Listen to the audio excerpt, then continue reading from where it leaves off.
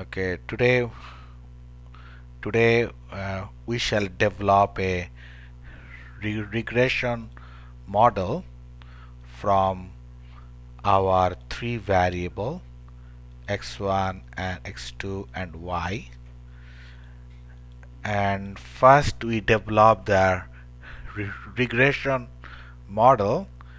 And after developing we shall talk about what does mean by r squared? You can see from here r square what does mean by r square so that we shall develop today the meaning of r square that is uh, what is our question of today? What is r square in the regression model that we shall talk about today. Okay and we have the three variables x1 x2 and y. What I do I open all the variables at a time. I'm just opening up open up as a group. You see here as a group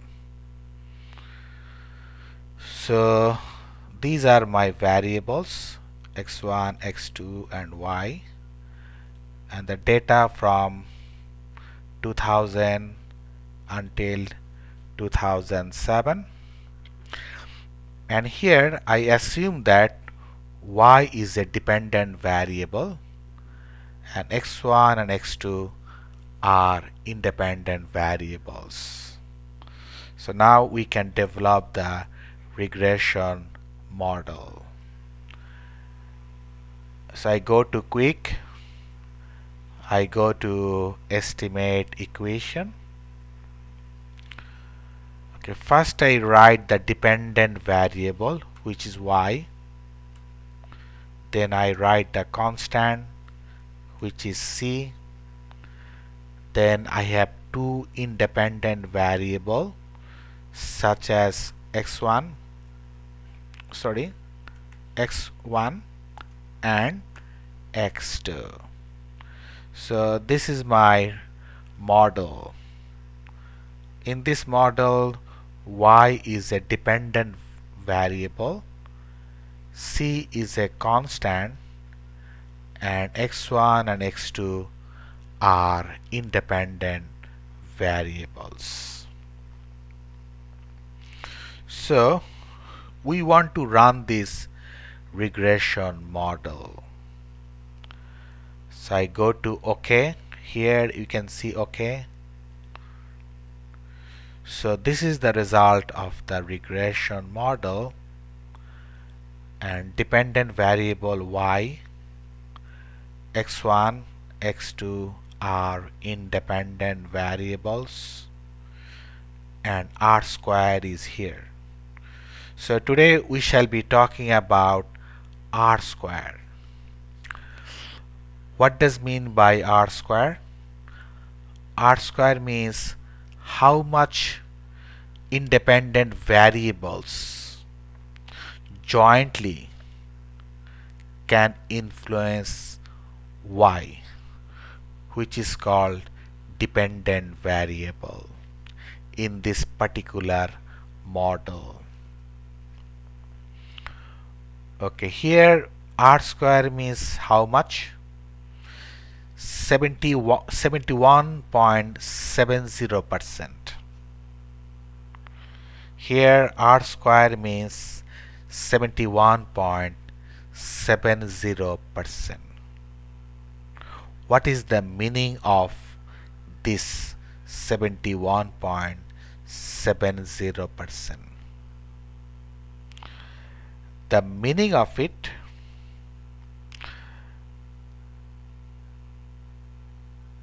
the meaning of it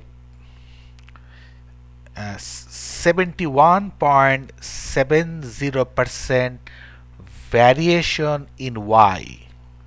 I am telling again 71.70 percent variation in y can be explained by x1 and x2 jointly.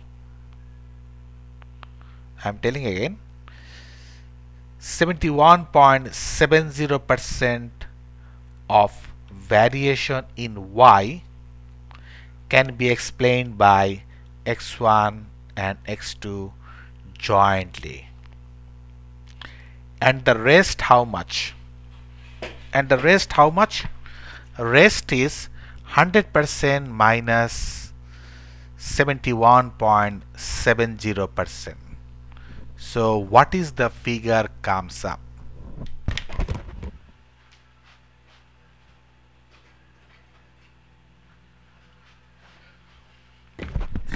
So the figure is around I am doing it using my calculator 100% minus